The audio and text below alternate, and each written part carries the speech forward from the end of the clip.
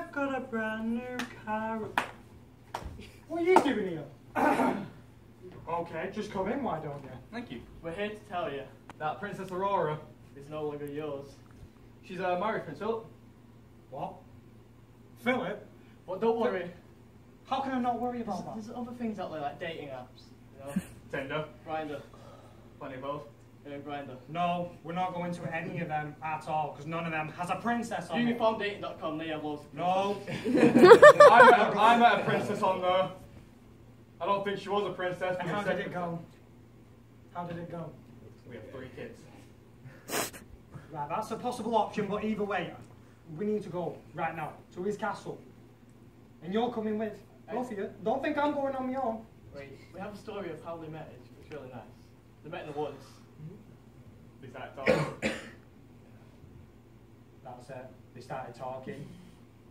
Oh, she pricked What? her finger. What?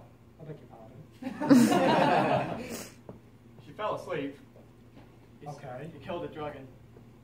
How did he kill a dragon? He kissed her. They got married. Yeah. Okay. Well, let's just start this all over again. So he slayed a dragon. Yep.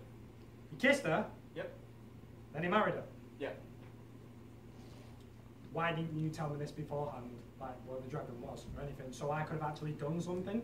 We couldn't have Nothing. told. We couldn't have told you that because it didn't happen before. No, where the dragon was, I could easily slay a dragon. Look at me. I'm hench in some ways. Right, that's it. You're both coming with me. We're going to this castle immediately. So this so-called prince. Why are you still standing there? Let's go. Come on.